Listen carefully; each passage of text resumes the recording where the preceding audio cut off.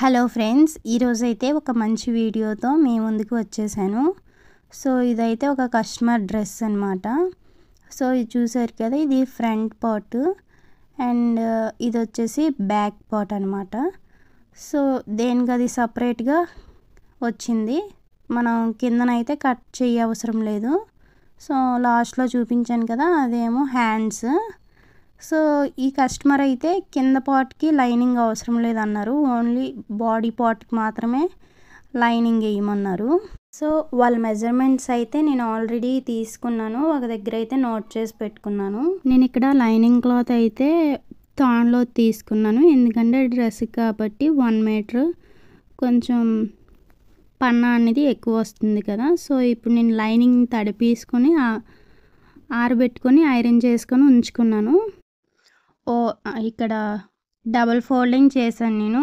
Folding అన్నది మన వైపు ఓపెనింగ్స్ అనేవి మనకి ఆపోజిట్ ఆపోజిట్ సైడ్ ఉన్నట్లుగా చూసుకొని పైన ఒక స్ట్రైట్ లైన్ అయితే డ్రా చేస్తున్నాను. పైన ఒక ఇది డబుల్ ఫోల్డింగ్ మీద ఉంది. అంటే ఫ్రంట్ పార్ట్కి బ్యాక్ పార్ట్కి కలిపి నేను ఇక్కడ ఫోల్డింగ్ చేశాను. సో పైనుండి లైన్ గీసాను కదా అక్కడ నుండి సిక్స్టీన్ ఇంచెస్కి అయితే మార్క్ చేస్తున్నాను. ఎందుకంటే కస్టమర్ది చెస్ట్ షోల్డర్ నుండి వేస్ట్ వరకు ఫిఫ్టీన్ ఇంచెస్. తర్వాత వన్ ఇంచ్ ఎక్స్ట్రా ఖర్చు కోసం పెట్టుకున్నాను. సెకండ్ నేను extra two and half inches అయితే ఎక్స్ట్రా తీసుకుంటున్నాను.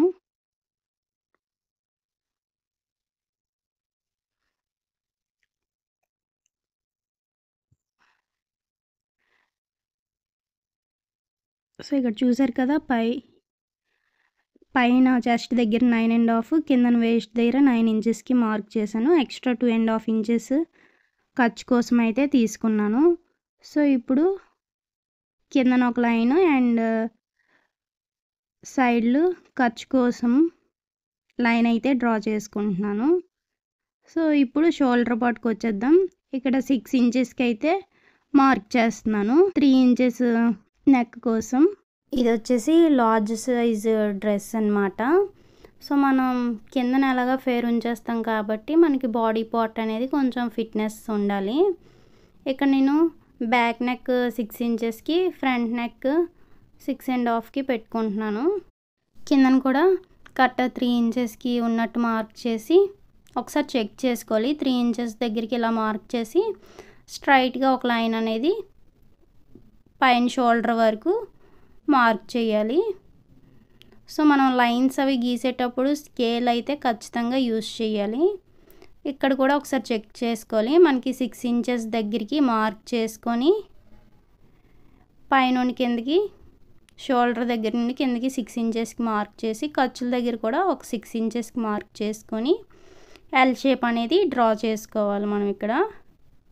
చూస్తున్నారు కదా వీడియోలో చూపించే విధంగా మార్కింగ్ అనేది చేసుకోవాలి. సో ఎల్ షేప్ డ్రా చేసాక కార్నర్లో వన్ ఇంచ్కి మార్క్ చేసుకోవాలి. వన్ ఇంచ్కి మార్క్ చేసుకొని ఇక్కడ మనం సర్కిల్ స్కేల్ యూస్ చేసి షేప్ అనేది డ్రా చేయాలి.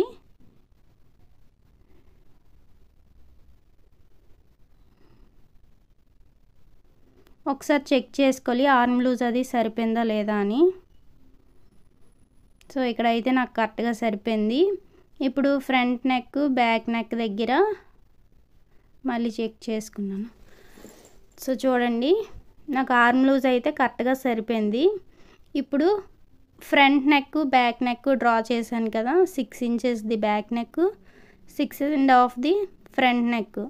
So ఇక్కడ సర్కిల్ స్కేల్ సహాయంతో రెండు నెక్కలకి కూడా సర్కిల్ అనేది డ్రా చేసేస్తున్నాను. వీళ్ళైతే ఫ్రంట్ నెక్ బ్యాక్ నెక్ కూడా రౌండ్ నెక్సే పెట్టమన్నారు. సో చూసారు కదా వీడియోలో చూపించే విధంగా డ్రా చేసాను ఇప్పుడు అన్నీ కరెక్ట్గా సరిపోయా లేవా అని ఒకసారి చెక్ చేసుకోవాలి. సో నాకు ఇక్కడ అయితే అన్నీ కరెక్ట్గా సరిపోయాయి. వీడియోలో చూపించే విధంగా కటింగ్ అయితే చెయ్యాలి. సో ఇక్కడ నేను వీడియోలో చూపించే విధంగా కటింగ్ చేసేస్తున్నాను. ఎలా అయితే మార్కింగ్ చేశానో మార్కింగ్ చేసిన దాని మీదుగా కటింగ్ అన్నది చేస్తున్నాను. ఇక్కడ ఆర్మ్ లూజ్ మార్క్ చేసాం కదా అక్కడ ఒక హాఫ్ ఇంచ్ ఫ్రంట్ పార్ట్ కోసం లోత్ అనేది తీసుకోవాలి. సో ఇప్పుడు మార్కింగ్ చేసిన తర్వాత దేనికి అది సపరేట్ చేసుకోవాలి? అంటే బ్యాక్ పార్ట్ని బయటికి తీసి ఇప్పుడు front part six and half mark చేసాం కదా అదిని చంకలో దగ్గర రెండు కటింగ్ అన్నది చేసుకోవాలి.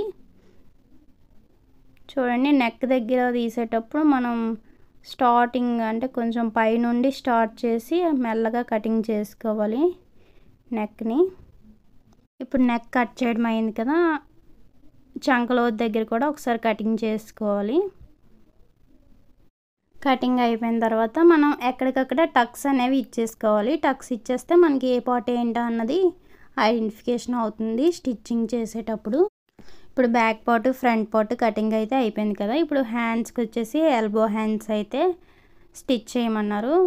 సో వాళ్ళ హ్యాండ్ హైట్ వచ్చేసి లెవెన్ ఇంచెస్. ఇక్కడ నాకు ఎగ్జాక్ట్గా లెవెన్ ఇంచెస్ హైట్ ఉంది క్లాత్ ఇక్కడ. సో నేను ఇక్కడ ఫస్ట్ అయితే ఒక స్ట్రైట్ లైన్ అయితే డ్రా చేస్తున్నాను. పైన ఇప్పుడు కరెక్ట్గా లెవెన్ ఇంచెస్ దగ్గరికి మార్కింగ్ చేస్తున్నాను. అంటే కిందన క్లాత్ ఇంకా నాకు మిగలలేదు.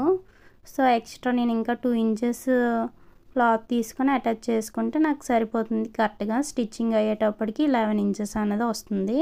అది ఎలాగో మీకు స్టిచ్చింగ్ చేసేటప్పుడు చెప్తాను. నేను ఇక్కడ ఎక్స్ట్రా క్లాత్ అయితే కటింగ్ చేసుకోలేదు. కానీ నాకు హ్యాండ్ లూజ్ వచ్చేసి అంటే కిందనమాట ఎల్బో దగ్గర. హ్యాండ్ లూజ్ వచ్చేసి ఫైవ్ అండ్ హాఫ్ అండ్ చంక డౌన్ వచ్చేసి త్రీ అండ్ హాఫ్ అనమాట ఇది లార్జ్ సైజ్ బ్లౌజ్ కదా. సో ఇప్పుడు నేను ఇక్కడ ఒక స్ట్రైట్ లైన్ అనేది డ్రా చేసేస్తున్నాను. చంక డౌన్ తీసుకున్న దగ్గర. సో ఇప్పుడు పైన వన్ ఇంచ్కి మార్క్ చేసుకోవాలి కదా. ఇక్కడ వీడియో అయితే కనిపించట్లేదు. నేను చూసుకోలేదు. సో పైన ఫస్ట్ మార్క్ చేసాం కదా. అక్కడ వన్ ఇంచ్ దగ్గరికి మార్క్ చేసుకొని స్టార్టింగ్ ఫోల్డింగ్ దగ్గర నుండి కిందన చంక డౌన్కి వచ్చిన దగ్గరికి నైన్ ఇంచెస్కి మార్క్ చేసుకొని ఎక్స్ట్రా ఖర్చు కోసం టూ అండ్ హాఫ్ అయితే మార్క్ చేసుకోండి. సో మార్క్ చేసుకొని ఇప్పుడు మార్కింగ్ చేసిన విధంగా స్ట్రైట్ లైన్స్ అనేవి డ్రా చేయండి సైడ్లు. సో డ్రా చేసిన తర్వాత హ్యాండ్ షేప్ తీసుకోవాలి. హ్యాండ్ కర్వ్ షేప్ తీసుకుంటాం కదా.